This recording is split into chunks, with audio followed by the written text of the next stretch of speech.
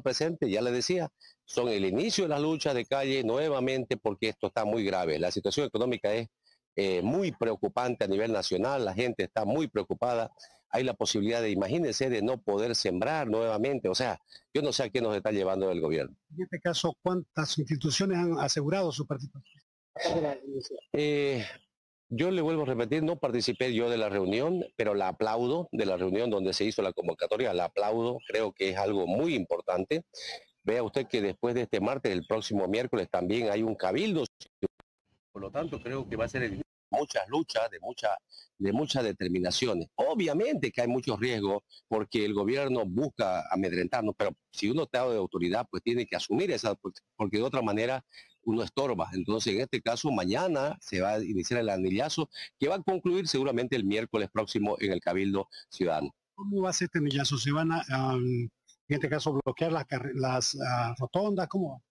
Eh, por lo menos lo que he leído en la convocatoria es que hay diferentes instituciones y agrupaciones que van a estar cada uno en su rotonda para demostrar que haya toda una unidad en todo el segundo anillo, porque están convocando desde las 5 de la tarde a 8 de la noche.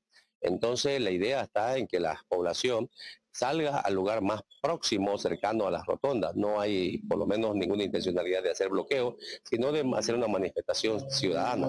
Y entonces ahí los ciudadanos nos manifestaremos por toda esta problemática, porque como le decía muy bien, es el inicio de una lucha que va a buscar soluciones de fondo el día del cabildo.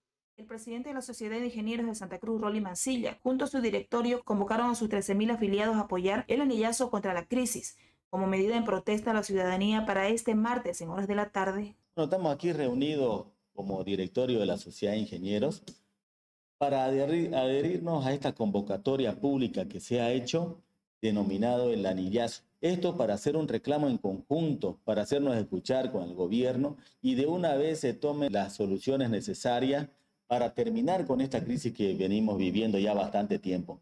Ya hace más de un año estamos con la escasez de dólares que genera que todos los productos importados se suban de precio. Venimos con el problema del combustible. Las colas del diésel continúan. El sector productivo se está viendo muy afectado y ahora estamos hasta con riesgo de la seguridad alimentaria. Porque a las constructoras, las distintas, los distintos entes públicos en los tres niveles de Estado se les debe sumas considerables. Y eso obviamente nos afecta de sobremanera.